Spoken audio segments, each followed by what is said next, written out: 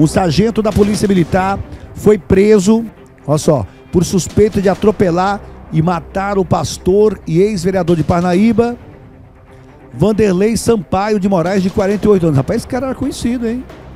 Esse aí que é o ex-vereador, é? Esse aí foi o que atropelou. Cadê o vereador? É aquele lá, né?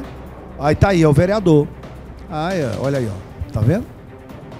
A vítima sofreu acidente no dia 1 na BR 412. Tá vendo? Quais foram as causas desse, desse acidente? Esse aí foi o atropelador, né? Aí a vítima. Vamos acompanhar aí com a Verônica Costa, ela tá ao vivo, é?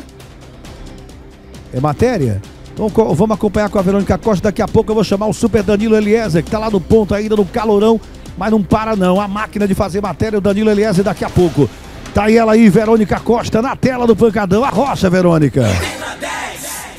A Polícia Civil na região norte do estado conseguiu identificar o autor do atropelamento do pastor Vanderlei Sampaio de Moraes, de 48 anos, que é ex-vereador aqui do município de Parnaíba. Pastor Vanderlei, ele empurrava sua moto às margens da BR 402 após um problema mecânico, assim apontou a perícia, e foi atropelado. O suspeito foi identificado como um sargento da Polícia Militar que atua na região norte do estado. O homem teria atropelado o pastor e fugido sem prestar socorro à vítima. A gente já tinha informações oculares, testemunhas oculares lá do local, tínhamos imagens e fomos atrás do veículo, né? A partir do veículo conseguimos chegar até o suposto autor do fato, né? Que foi localizado, foi intimado aqui na delegacia, compareceu. E, no primeiro momento negou né? Só que a gente pediu a apresentação do veículo, fomos aqui fora do complexo, o veículo estava aqui na fora. E aí foi verificado que o local onde aconteceu o acidente no veículo, né, onde houve é, a batida, tinha sido recentemente trocado. O veículo foi imediatamente apreendido e periciado. Foi constatado que as peças que estavam lá tinham recentemente é, trocadas. Né? Então a gente pressionou o, o autor, né, falou das, das diligências já realizadas e, e então ele confessou o crime.